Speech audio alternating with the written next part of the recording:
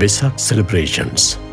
Dear friends and parents, we all love to celebrate our important days like birthdays, the successful moments and festivals, as well as special religious days.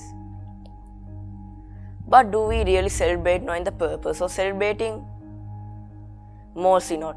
Most of the people do it as a tradition or a custom. But in a time where Buddha teachings are widely heard, we can celebrate our special moments in a very successful and valuable way. So, for the Vesak day, we should really celebrate in a meaningful way that it would gain real respect to the Buddha and gain much merit for our lives. So, as children and parents, we can observe the eight precepts imitating the great Arahants. We can give Vesak cards to friends, teachers, and relatives with a genuine intention of blessing them. And we can make a lantern and offer to the Buddha just like we offer flowers.